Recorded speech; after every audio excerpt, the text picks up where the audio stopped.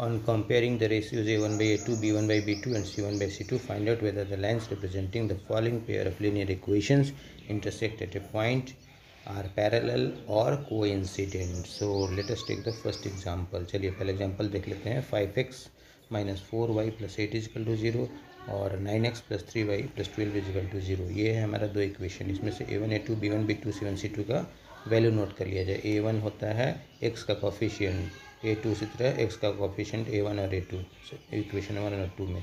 सब करने के बाद ए वन बटा ए टू देखा गया फाइव बाई नाइन जबकि बी वन बटा बी टू और माइनस फोर बाई थ्री दोनों में से कोई कंपेरिजन नहीं a one a one by a two is not equal to b one by b two therefore you can say a pair of lines representing the linear equations intersect at the point इसके पहले video आप देख लें, यदि आपको conditions याद नहीं हो, उसमें कंडीशन बताया गया है।